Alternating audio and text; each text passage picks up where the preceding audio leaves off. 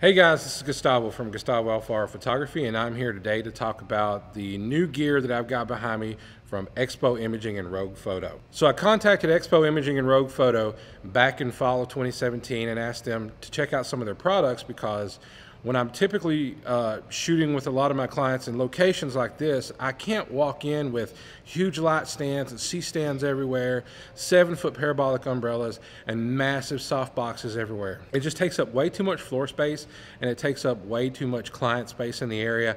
So there's a lot of complaints when you're in a gym and stuff like that.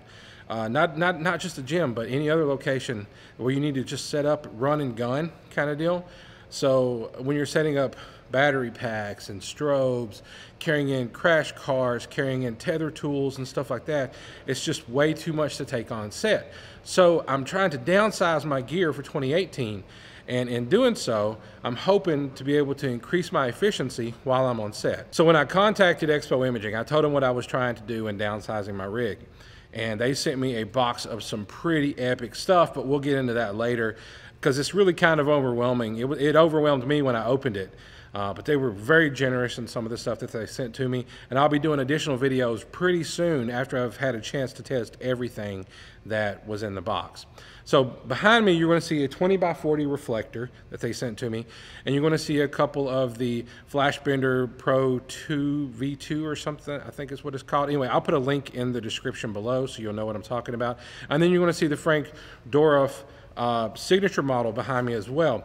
Uh, I love that. That one is amazing. It's a, got a sil uh, soft silver backing on it instead of the white backing, so the light output and the quality is a little bit more strong and spectral, but it's perfect for what I do and using it as a key light. So today's setup is going to be a standard three-point setup with the reflector to kind of add a little bit of fill space in there. Uh, but for the most part, this is the setup that I use when I'm on set with you know most clients. I have used this in a commercial setting uh, when I was using multiple multiple lights.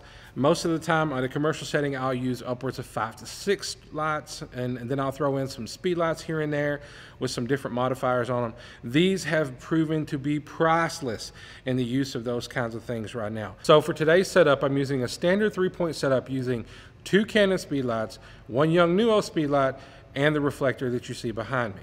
I'm pretty excited to see how these photos come out. Let's go take some pictures.